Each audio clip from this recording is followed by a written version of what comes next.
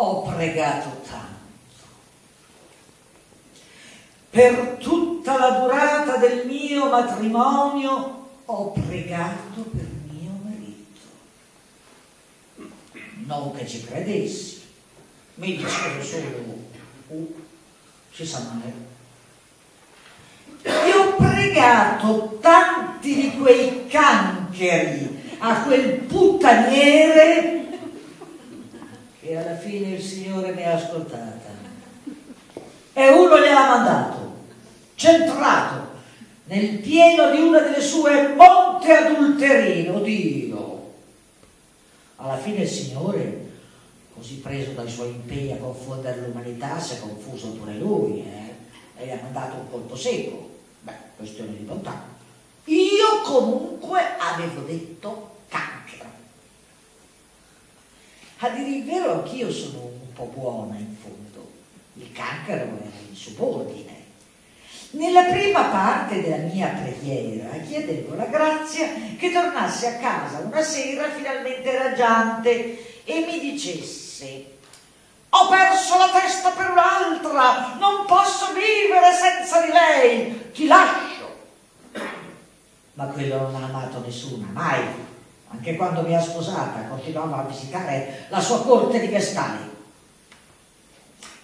Mi spiace solo di non aver potuto vedere la faccia della signorina quando le è rovinato addosso il quintale del gran montatore che riposi, che riposi nella pece. E voi cercavate una prova dell'esistenza divina? Dio c'è! La morte del porco ne è una prova e Dio mi perdonerà. E tanto sono solo pensieri. Lui lo sa quanto ho dovuto subire io, quante privazioni, mentre quello si rendeva tutto. Lo scoprivo subito quando cambiava signorina. Dopo un po' vendeva un campo.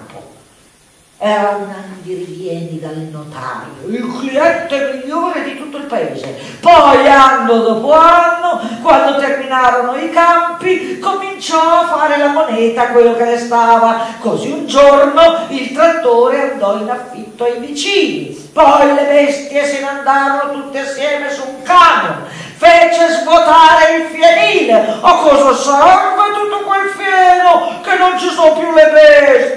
E di lì a pochi mesi vendette anche il fienile con la stalla inclusa. Tanto.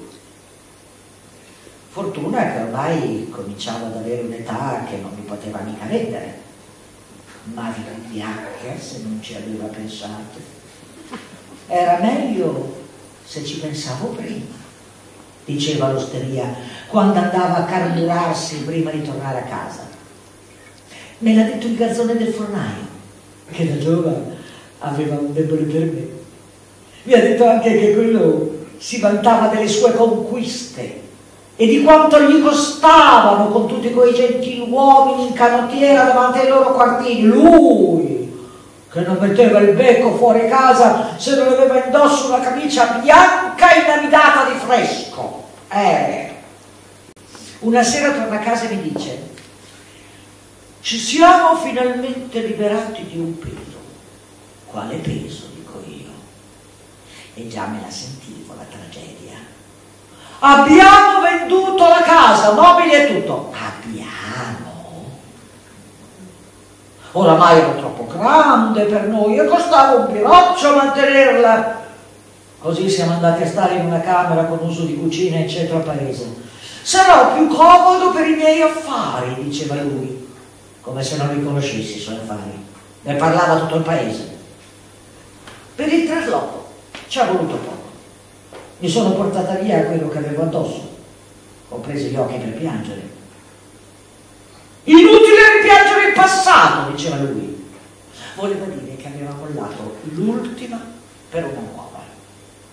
Siccome non voleva spendere a casa, sono dovuta andare a servizio. Io, che avevo sempre avuto le mani lisce come il venuto, perché non c'erano i soldi per pagare l'affitto e quelli che guadagnavo dovevo tenerli nascosti sotto un mattone in cucina, se no si sputtanava anche quelli.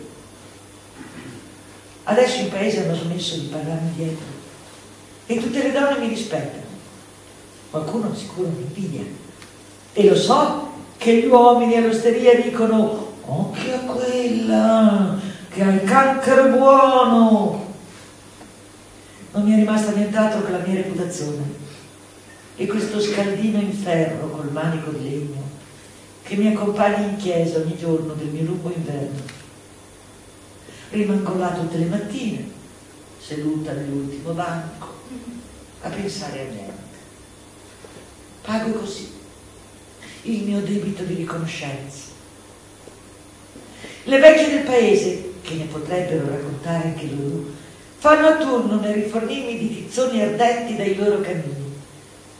Li portano dentro a vecchi barattoli di conserva con il manico di fil di ferro ritorto e riversano la brace nel mio scaldino. È così che mi riscaldo l'anima.